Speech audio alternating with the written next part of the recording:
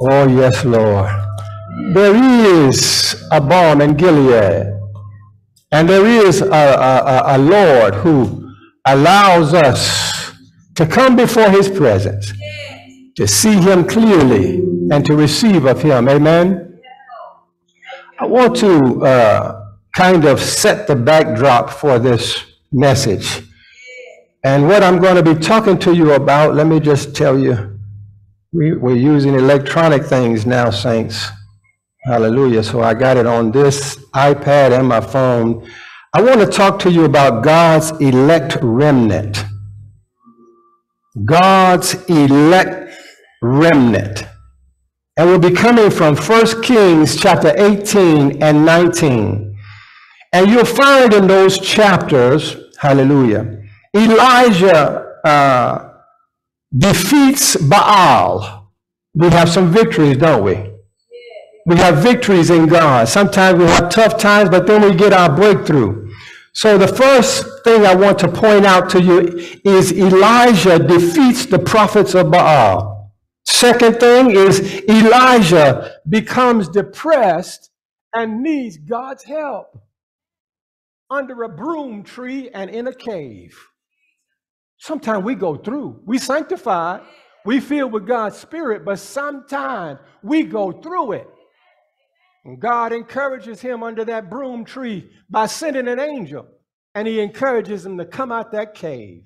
Anybody that's locked up today, I'm telling you, come out and do the works of the Lord. And then the last point, and the, the one that uh, I want to really push home, is that God revealed to Elijah his remnant.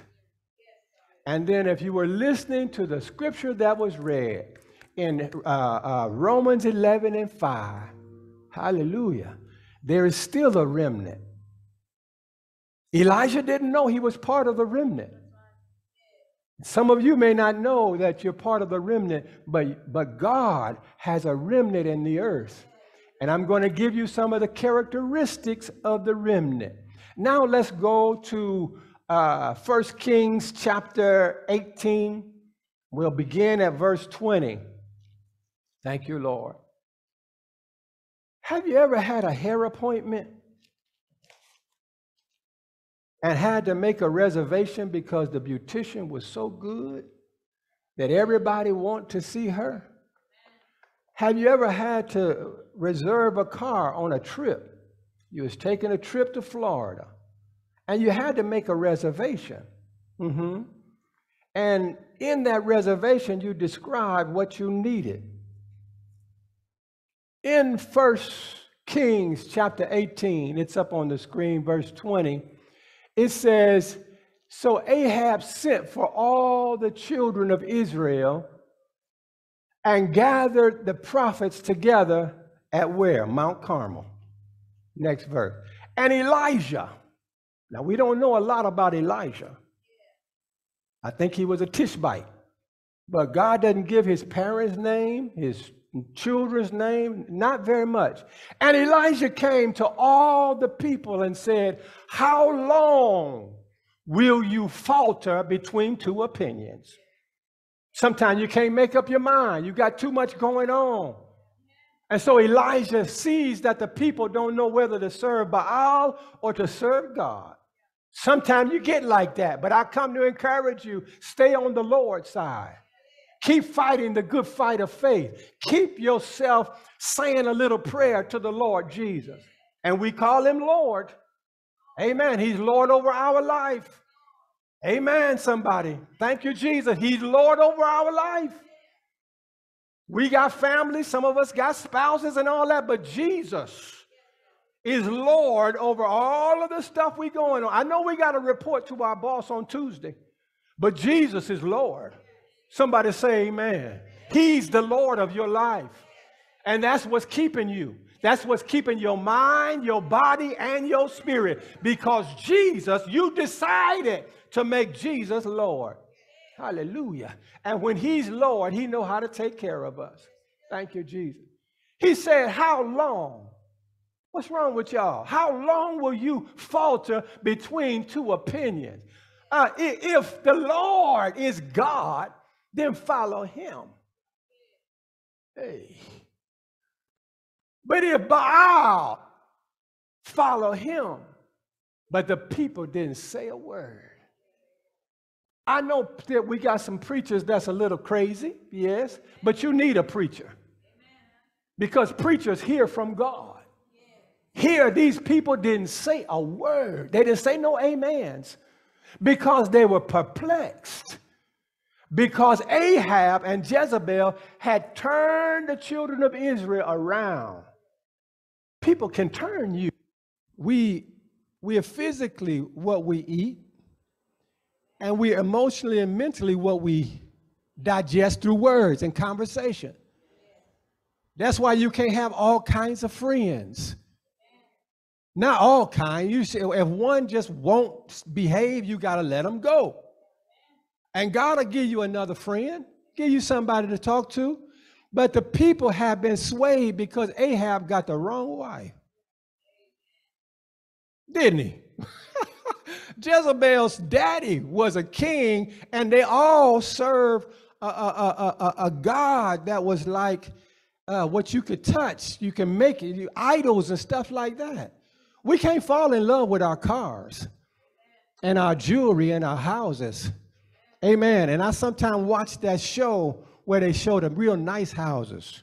You know, with the two with the butler's kitchen or the um, the fancy kitchen and then your little kitchen. If you got a big enough house, you can get a, a chef's kitchen. That's what I'm trying to say. And then I see how they have the spirals, bed uh, uh, staircases and all that. It's still a house. You can't sleep twice. You can only sleep one time in that bad boy for that night. Amen. And what I've noticed, because I watched them so much, I'm telling on myself a little bit, is that they're just bigger. Amen. And it separates people sometimes and causes lawsuits. But Elijah here is saying, hey, uh, uh, y'all need to make a decision. And they didn't say one word because they were wrapped up into confusion. When our leaders, that's why I pray for Joe Biden. I pray for that crazy Trump too. I pray for my leaders because we they set policy and all what y'all suffering. They can lie all they want, but when we cut that oil off and start doing them embargoes against Russia, I'm telling you, that's when all them gas prices and all the chicken, you buy chicken now, you got to pay half your paycheck to get one chicken. The devil is a lie. So, leadership, my point is, leadership can mess you up. And Elijah had to, had to go up to Mount Carmel to deal with some things, and we're going to see that. Let's move on. Next verse in First King. Then Elijah said to the people, I alone am left a prophet of the Lord but Baal's prophets are 450. Y'all don't get caught up in numbers. It was one man, Elisha, against 450 prophets of Baal. Amen. And Jezebel used to uh, would feed these guys. I don't know if it was any ladies that were prophets, but she would feed them and take care of them. So it was a whole lot of them. Let's look what happens. Next verse. Therefore, let them give us two bulls. Hmm. Two bulls. How many bulls? Two bulls, because some sacrifice getting ready to go on. And uh, let them choose one bull for themselves, cut it into pieces and lay it in, lay it on the wood, but uh, put no fire under it. And I will prepare the other bull and lay it on wood also but put no fire under it. Uh huh. Some fire had to come from God. Next verse. Then you can call on the name of your God, and I will call on the name of what? The Lord. He's Lord over our lives. Somebody say, He's Lord. And the God who answers by fire. Oh, He is God. God has to come in and burn up some things that needs to be burned up. He has to uh, purify us. I think it's the last verse uh, in, in Hebrews. It says, God is a God of fire. Hmm. And then he says, So all the people answered and says, It is well spoken. Now, since he uh, has them use Baal and God, they can say something.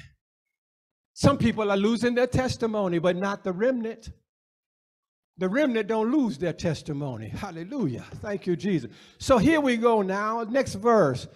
Uh, uh, now Elijah said to the prophets of Baal, Choose one bull for yourself and prepare it, for you are many, and call on the name of your God, but put no fire under it. So they took the bull which was given them, and they prepared it and called on the name of Baal from what? Morning till noon. He gave him four hours. Early morning till noon, saying, O Baal, hear us. And ba Baal is the singular, Baalim is the plural of that God. But there was no voice, hallelujah, no answer. Then they leaped about the altar which they had made. Can you see that in your mind? You got 450 of them just jumping and saying, answer us Baal, dancing and doing all kind of stuff, trying to conjure up a voice to come out of heaven. Hallelujah. Don't people conjure up things and tell you that they're spiritual and they, oh, I'm just not with nobody. Ah, come on now. We need to get back to the basics. We do believe in Jesus. Next verse. Mm -hmm. And uh, so it was at noon. Hallelujah. Wait on your blessing. Wait on the Lord to do what he going to do because he's going to always come through. And at noon, somebody said noon. Hallelujah. The, the, the Lord moves on the 12s. He moves at midnight and he moves at noon. Uh-huh. Because when Paul was on the way to Damascus Road, uh, uh, it said that, the, that Jesus shone brighter than the noonday sun that Elijah mocked them and said, Cry aloud, for he is a God. Either he is meditating, or he is busy, or he is on a journey, or perhaps he's sleeping and must be awakened. Our God never sleeps nor slumbers. He doesn't take a break, nor does he miss your prayers. He doesn't go on, on holiday or any of that because God is God. He's sustained by himself. And you don't have to conjure nothing up. All you got to do is call on him. Call on the name of Jesus, and he will answer by and by. Mm, thank you, Jesus. I thank God that he hears me. I thank God that he hears my prayers. And I thank God he hears the prayers of the saints. But God has a remnant. Oh, thank you, Jesus.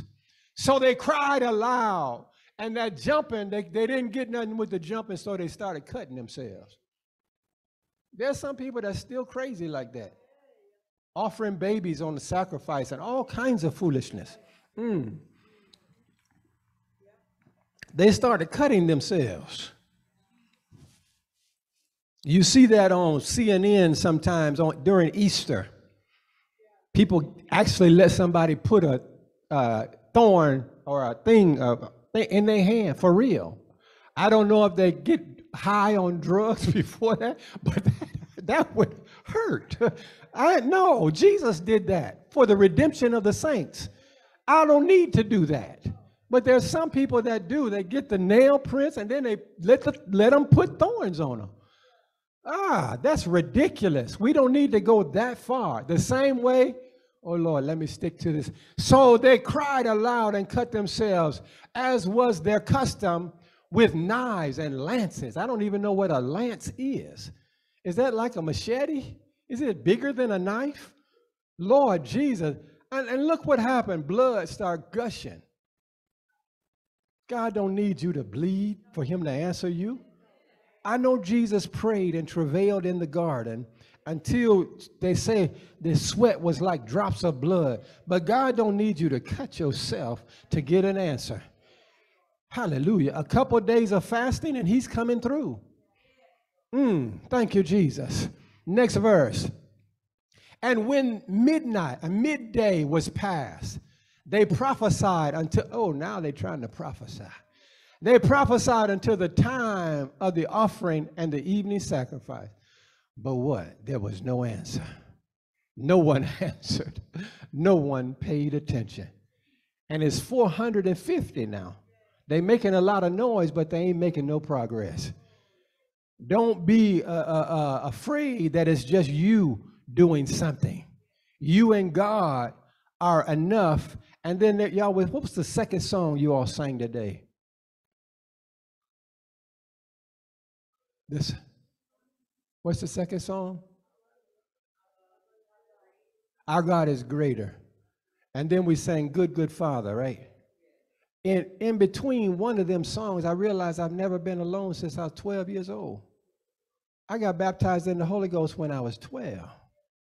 And he's a comforter. And now I, that, that, I'm have to meditate on that because the Lord just breathed. Any of you all that got, since you've been saved, your, your marital or single status does not dictate what you have. You can't be alone with God. If God is in your life, He's with you. Hallelujah. Midday came, they prophesied. Next verse. Then Elijah said to all the people, Come near to me. So all the people came near, and he repaired the altar of the Lord that was broken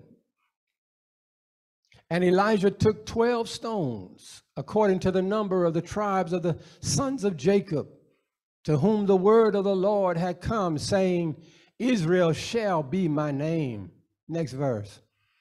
Then with the stones he built an altar in the name of the Lord, and he made a trench around the altar large enough to hold two seahs of seed. And he put the word wood in order. Mm, hallelujah.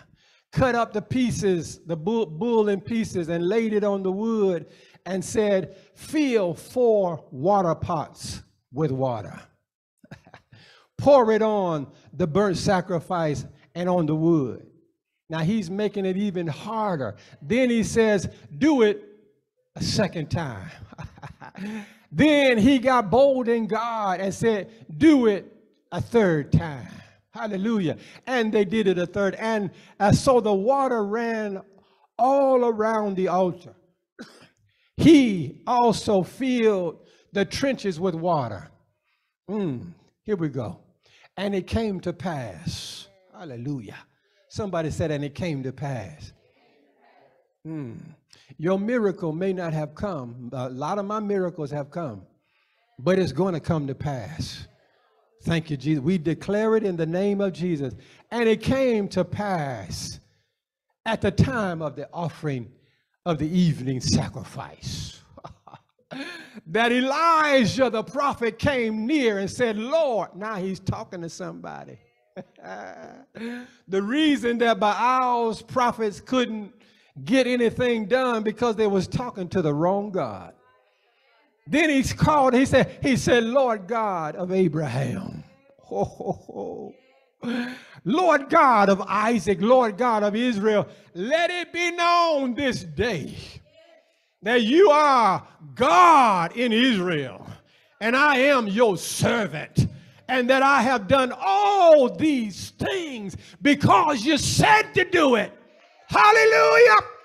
We can't go in our own strength, but we got to go off the word of God. We got to trust what the word says. If the word says it, God will back it up. Hallelujah. There's a lot of people going in their own strength right now, even in this tough day, but I'm relying on the word of God. I'm relying on him whom I serve. Hallelujah. I've done all these things at your word. Next verse. Mm. Hear me, O Lord. He didn't take it for granted. He still got a humble spirit. Hey, God may have talked to you yesterday, but don't get it twisted, baby. You got to stay humble. Hear me, oh God. Hear me, oh Lord. Hear me that this people may know. I got to preach because the people need to know you, Lord and that you have turned their hearts back to you again. God always sends somebody. Next verse, He sends somebody to stir us up, saints. He sends somebody to keep us from getting cold. Then the fire of the Lord fell. Mm, thank you, Jesus. Oh, this Elijah was something special. He called fire down from heaven. Mm. Then the fire of the Lord fell and consumed the burnt sacrifice and the wood and the stones and the dust, and it licked up the water. Shoo! He didn't just burn the wood and the sacrifice, it licked up the stone. It got to be hot to burn a stone. We use stones to put around our fireplace when we go camping. We use stones in our house. The fireplace is in our house, but God's fire will consume the stone. Thank you, Jesus. So I wanted to give you that backdrop and tell you that Elijah had uh, uh, defeated the 400 prophets of Baal, Baal or Baal. And then in the 18th verse of that same chapter, he says, Yet, no, not the 18th verse, but but the uh, I think it's the last verse of 18. No, no, no, no. What verse is this? Verse number 40. See, we got to be a little bit, I like the armies of God rise up because we're going to do warfare. And I don't want to disturb your spirit, but I just want you to have this word. The prophet prophesied. The prophet made the altar. The prophet called on the name of the Lord. The prophet defeated Baal's 450, but he didn't stop. He killed them. And I know we've said this before that there's some things in our life that need to be killed. Because if you leave them, they're coming back. Some things don't know how to leave you alone. Hallelujah. Hey. Some things keep bugging you and bugging you and bugging you until you make up your mind that that's it. So in verse 40, Elijah said to them, Seize those prophets of Baal do not let one of them, not nan one of them go. So they seized them, and Elijah brought them down to the brook of Kishon. Mm. And what did he do? He killed them. There's some things in our life that we must kill. There's some times in which the, the, the gods of others must be shown that they have no power and they must be killed. And this is what God's God used Elijah to do. He used him to destroy the prophets of Baal. Now, here comes the good part, the part where you and I engage. Elijah's a big man now, isn't he? He real big. He, he's God has shown up for him. He's gave him a great miracle. He's done all kinds of things. But as soon as you open chapter 19, Jezebel says, I'm, I'm going to get you, boy.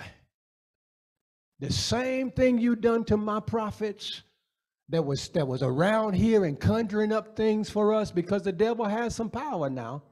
He had the same thing that they were doing, uh, uh and you kill, I'm going to kill you. And you know how when you're on a high and then you have a low, you ain't kind of thinking right. So Elijah had some trouble. Now, this great prophet is running from a woman. you talking about women have power, they do have power. Because she put out an APB on his life. All points bulletin. She says, I'm going to kill you before the, this time tomorrow. And Elijah believed her. Uh, you can be anointed, but you got to stay with it. you, your anointing can get confused. Because she said, I'm getting you. And, and this is the woman that had killed the prophets before. You know, she turned Ahab, made him do all kinds of stuff, and then made him bow down to a false God. And now, uh, uh, if anybody in the land would, would begin to prophesy and call on the name of the Lord, she would kill him. Mm, something God allows. Don't ask me why now. God just does. Something he allows, sometimes he allows stuff to show his power. Because he's going to use this same Elijah to make the dogs eat her body. But at this point, he's afraid. So he gets on the run and in uh, uh, chapter 19. He gets scared, y'all. It's okay to be afraid, but don't lose out with God. He got scared and went down to a broom tree, but he didn't lose out on God. He got scared and went into a cave, but he didn't lose out with God. In chapter 19, Elijah, uh, uh, he, he gets afraid. And, and, and Ahab, it says to, in verse 19, chapter 19, verse 1, and Ahab told Jezebel, look at this man, tattletale. My God. And Ahab told Jezebel all that Elijah had done and also how he had executed the prophets with the sword. Then Jezebel sent a messenger to Elijah, saying, so, so let the gods of, do to me and more if I do not make your life as the life of one of them by tomorrow about them this time. And when he saw that, now this is interesting. because her words caused Elijah to have a vision. He didn't just hear what she said, did he? The Bible says, and when he saw that, he saw himself dying. Come on, saints. You can see yourself in a situation and never coming out oh man, I'm just going to have to live my life like this forever. I'm going to have to deal with these knuckleheads and this and that and stay in this neighborhood. Uh, the devil is a lie. What you desire, God can give you. What you hope for, the Lord can bring to pass. You can get bigger and better. Thank you, Jesus. We are elevating. I heard you. We are going higher. Whatever I set my mind to, that's why I'm careful. I'm going to have because I know what God is doing in my life and I know that He set a remnant in the earth. Everybody's not afraid, everybody's not going through, but somebody called a remnant is living off God's pleasure, off His plenty, off His joy, off His love, off His kindness. God is being good to somebody. Thank you, Jesus. And if you look around in your own garden, you'll find some good thing. He heard the words, but the in verse 3, he said he saw. When he saw that, he didn't see her. She was talking, and a messenger sent a word. But he had an, enough fear or whatever it was in him to conjure up a vision. And when he saw it, he arose. And what did he do? He got out of Dodge, didn't he? Uh-huh. He ran and went to Beersheba, which belonged to Judah, and left his servant there. Then the Bible, and I don't have time to go into all of these scriptures because I just wanted to give you a good backdrop.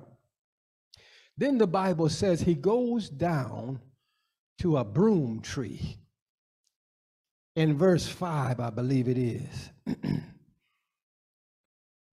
and he went to sleep. Mm-hmm. And suddenly, an angel touched him. when you get in trouble, Psalm 91 will come alive. God has given his angels charge over thee, lest you dash your foot against a stone. Or oh, when he was in his most broken place, when he thought his life was going to be like other prophets, the angel of the Lord touched him. The angel of the Lord didn't just touch him, but he, he cooked for him, gave him something to drink, and encouraged him.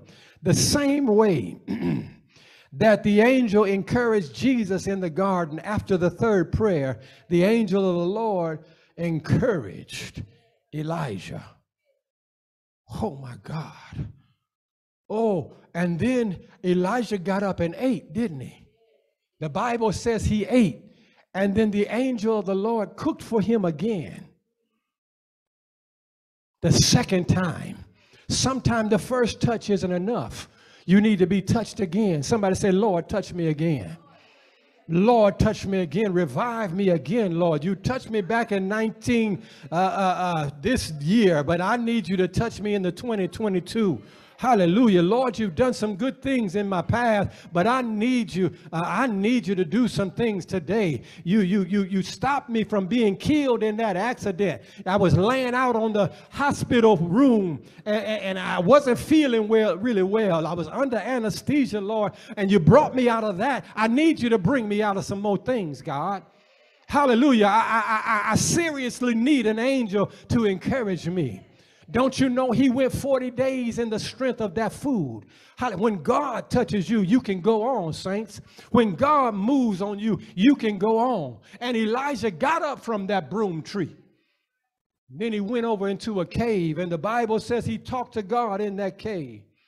Mm, and when God began to reveal some things, he first came in a strong wind. Elijah was in the cave and a strong wind began to blow, but the Lord was not in the wind. Then the scripture says that there was an earthquake, but the Lord wasn't in the earthquake. Hmm. And then the scripture says that this God that answers by fire showed some fire, some strong fire, but he wasn't in the fire. Then Elijah heard a voice and said, What are you doing here? God spoke to him in a still small voice. I hear the voice of the Lord saying, You're going to be all right. Hallelujah. And we got to stop, we, we got not stop, but we got to start praying that we'll keep the faith in plenty. I'm going to say that again. I know we pray when people are down and we pray for deliverance, but you all be careful when the blessings of the Lord overtake your family. There's a thing in God called timing. He waits until a certain date. And I and, and, and some of you all, if you think through your life, there's been a certain date when God lifted the pressure off and he brought you through. Amen. And and and so now I feel like this the remnant of God is going to be blessed so much that they're going to have to remember not to lose the faith. Hallelujah. God can bless you so much that you forget about Him. There's a lot of people who used to pick up people to come to church when they had a hoopty. But God gave them a Lexus or a, a Mercedes. God help us if He give us a rose. Y'all ain't gonna never see nobody with no rose coming to church. Hmm, thank you, Jesus. You say, oh no, I can't drive that up there. The saints going through, they won't understand. But God's got a blessing. And I warn you in the name of Jesus, when your pockets are full and overflowing, because he can do it and he will. This is where people get, uh, uh, some people, I ain't gonna just say preachers, get a little messed up. It's not in their going through. In the going through, we pray. When my blood pressure goes up, I pray. When, I, when I, my sugar count ain't right, I pray. But when my pockets are swole, what do you do when you got what you want? Sometimes we forget God. When we get the house, oh Lord Jesus. Mm, so he was in the still small voice. Hallelujah. Said, What are you doing here, Elijah? What's wrong with you? Why are you stuck in this cave? He asked them twice, What are you doing here? Mm. Are you in a place that you don't need to be? Should you be ministering and you still sitting back? Is God calling you to do certain things and you have withheld yourself from God? I'm speaking to somebody on Zoom and somebody in this audience today. Are you withholding yourself from God? What are you doing there? What are you doing saying, oh God, I'll wait until this time or I'll wait until that time? You ain't no spring chicken. Get up and do what God said. Come on, saints of God, hear the voice of the Lord and then obey. Go ahead and do it. You may not look the best doing it, you may not sound the best doing it, but do it for the Lord. Hallelujah. And then God gave Elijah the next assignment. Oh, hmm, didn't he? He says, uh, well, let me point this out. No, let me give you the, the next assignment. God gave uh, Elijah his next assignment. He told him to go and anoint Hazael. Then he told him to anoint Jehu. And then he told him to, to anoint Elisha. Mm, thank you, Lord. Elijah in verse 14 of chapter 19 began to give God uh, uh, the reason why he was in the cave. I have been very zealous for the Lord of hosts. Because the children of Israel have forsaken your covenant, torn down your altars, and killed your prophets with the sword. And I, yes, I am alone uh, left here, and they seek to take my life. Now, God didn't even address this. Watch me now. Sometimes when we complain, God don't address it until he gives you what he wants to give you, and then he may address it and he may not. Then the Lord said to him, Go, get up out of this cave. And I say to you today, get up and do the work of the Lord. Return on your way to the wilderness of Damascus. When you arrive, listen here, I want you to anoint as king of uh, Hazael, as king of Syria. I just saw uh, uh, uh, uh, not resurrection, but restoration. God's voice in the assignment restored Elijah. You know, he didn't address his fears, did he? He says nothing about what you're going through. He just says, hey, get up and go. Anoint Hazael as king of Syria. Also, you shall anoint Jehu, the son of Nimshi, as king over Israel. And then you talk about dying, so then I'm going to give you an, an heir. And Elisha, the son of Shepha, of Abel, Meholah, you shall anoint him prophet in your place. In other words, I'm going to show you legacy.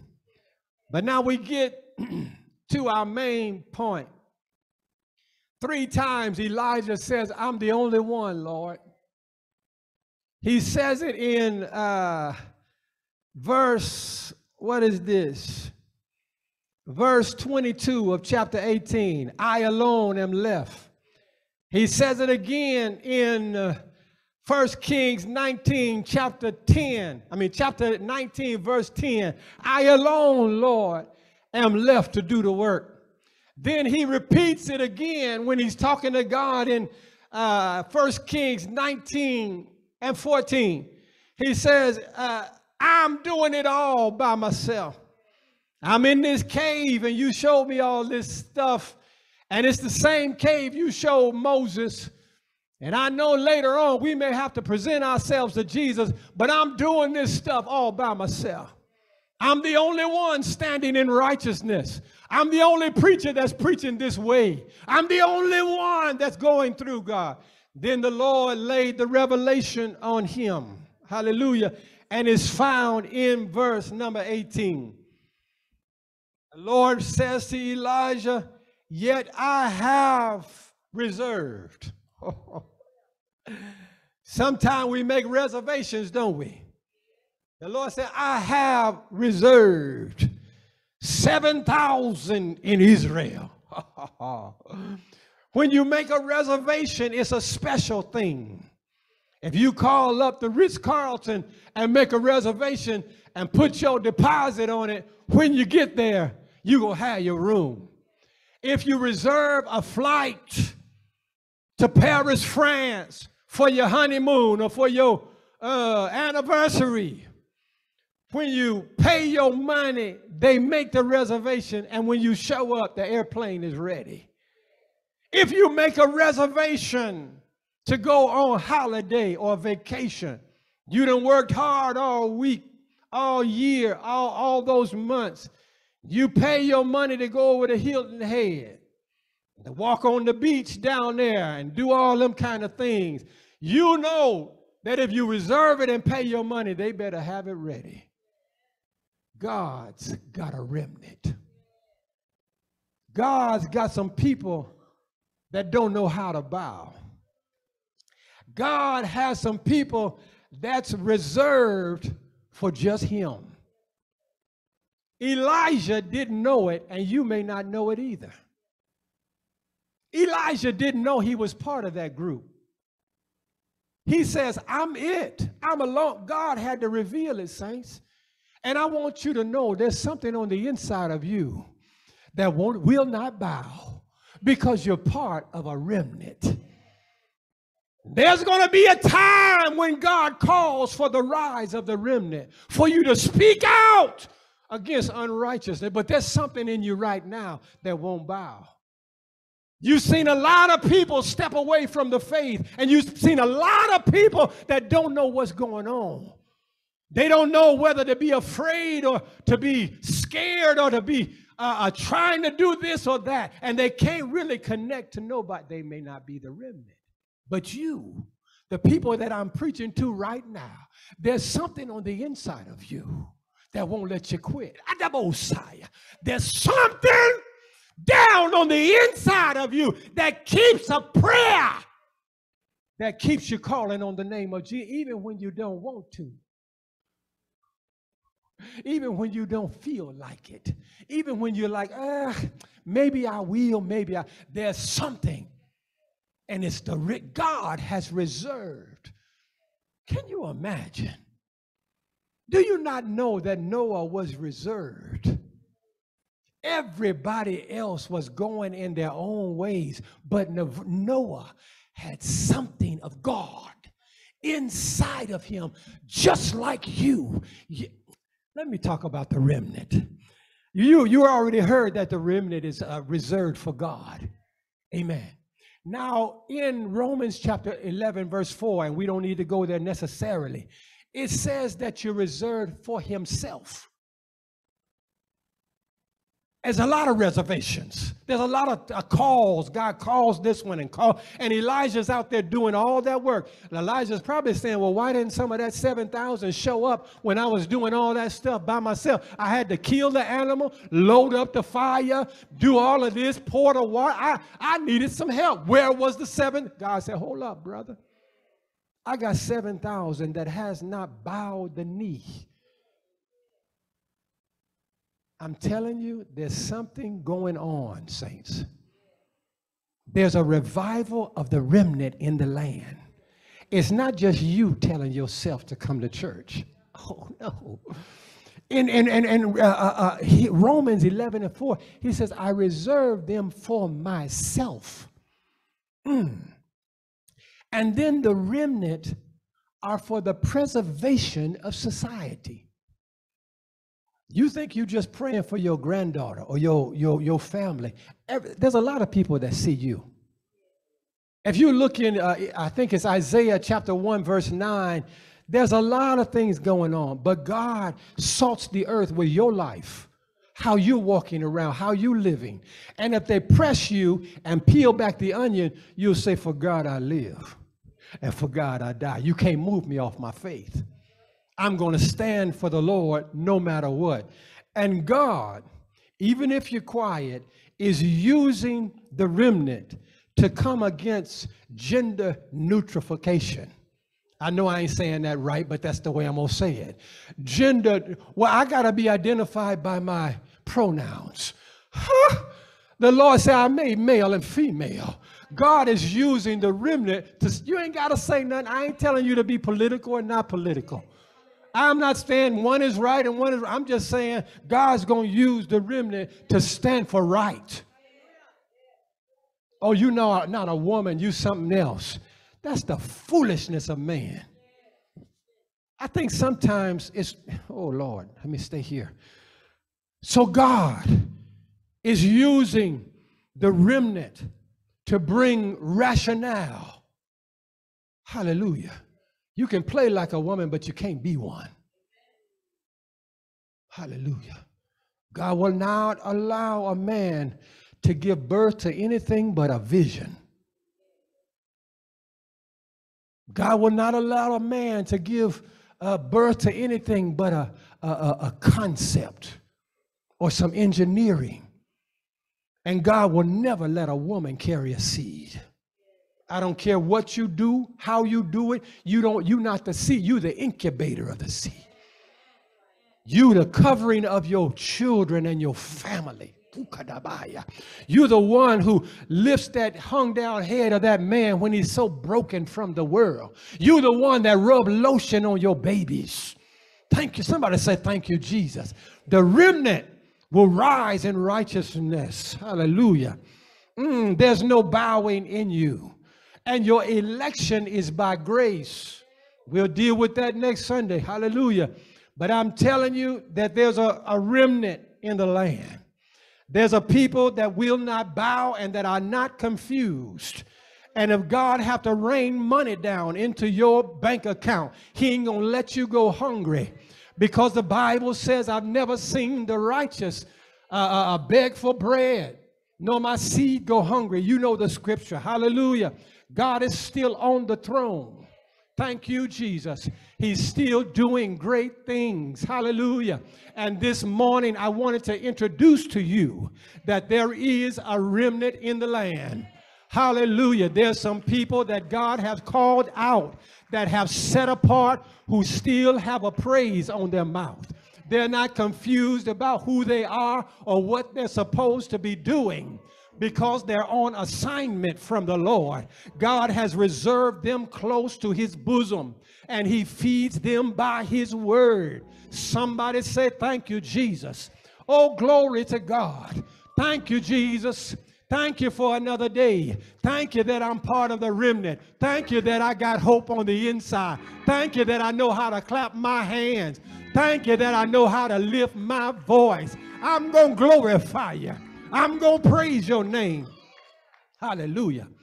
Hallelujah. You know what? I was wondering what I was. I was wondering why this stuff don't discourage me, why I'm not getting low, why I'm not wondering where my next meal is coming from. Because God will, will, will make a Goshen in Egypt. He'll put a place, hallelujah. He'll make a place for you. He'll make room for you. And he'll cause you to be blessed. Everybody's not going down, saints. Everybody's not searching for their next meal. Some of y'all looking for your next house. Hallelujah. Because you're blessed. You're blessed coming in. You're blessed going out. You're blessed in the field. You're blessed in your home. You're blessed because God says you're blessed. He had to reveal to Elijah, like he has to reveal to us, we're a part of his remnant. Thank you, Jesus. Somebody say, Thank you, Jesus. There is a revelation that comes with being a remnant. It means that you cannot fail, you cannot lose, you cannot fall by the wayside because God has you. Thank you, Lord. Hallelujah. Thank you, Lord. Thank you, Lord, that you're always on the case. Thank you, Lord. Father, we thank you today. We sense and feel something special in the atmosphere. God, we ask that you pour out your spirit upon all of us. God, we declare that we're blessed. We declare that we cannot fail. We declare we will never bow down to Baal, but we'll continue to serve you. Lord, we thank you right now. We thank you in our coming in and our going out. We pray, Lord, that we will not leave here the same way we came. That every problem, every issue that you're dealing with it right now, we declare full health to our body, full health to our mind, full health to our spirit. We speak life.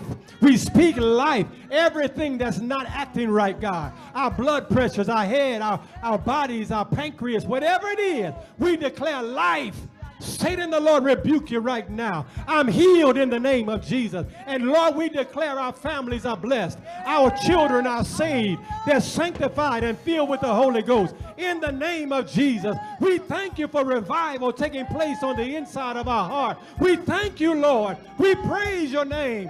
Hallelujah. Glory to God. We give you the high praise. Hallelujah. Hallelujah. Hey, hallelujah. We clap our hands and give you thanks this morning. We thank you for another day, God. We thank you for revival of the spirit, revival of the soul, revival of our body. Hallelujah. Hallelujah. We give you praise. We give you glory. Come on, shout before the Lord. Thank you, Jesus. Thank you, Jesus. Hey, Hey, hey, hey, hey, hey, hey. Hey, hallelujah. Hallelujah. Hey, God. We bless you now. We bless you now. We bless you now. We bless you now. We grab our blessing, Lord. We reach for our blessing. Our praise brings the blessing down. We thank you, God. Thank you, Jesus. Thank you, Lord. Thank you for blessing my home. Thank you for blessing my family. Thank you for blessing my children. Thank you for my grandchildren. I say yes, Lord. Yes to your will. Yes to your way. Yes to all that you're doing. Hey, glory. Give him a deep praise from down in your belly. Thank you, Jesus, for my life. Thank you for my health and strength. Hey, glory. Oh, God. Oh, God. Oh, God. We shabach your name, oh Lord. Hey, glory. Bless you, Jesus. Bless you, Jesus. Bless you, Jesus. Bless you, Jesus.